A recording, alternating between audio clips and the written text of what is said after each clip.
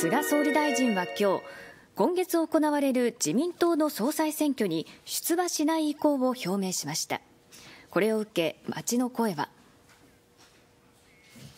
私はなんかやっぱりこう出ないかなっていうふうに思っててなんか支持率とか見ていたら35%とかちょっと低かったじゃないですか。私たち国民から見てもなんかはっきりとしたなんか政策っていうのを示してほしいなと思います。まあ、だから安倍さんが知ってるやってることの時一緒にいたから、まあ、安倍さんが続いてやってたことが全部引き続きやってくれるというふうに信じてたね。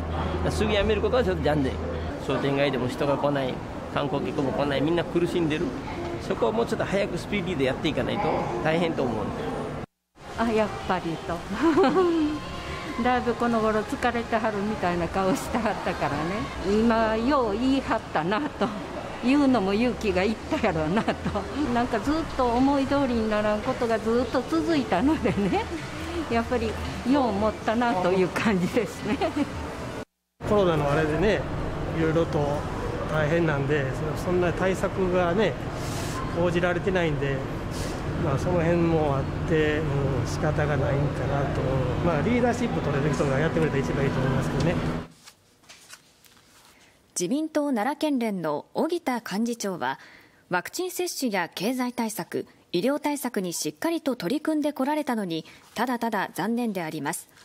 次の総裁は国民の心に共鳴できる発信力を持った方になってもらいたいとコメントしています。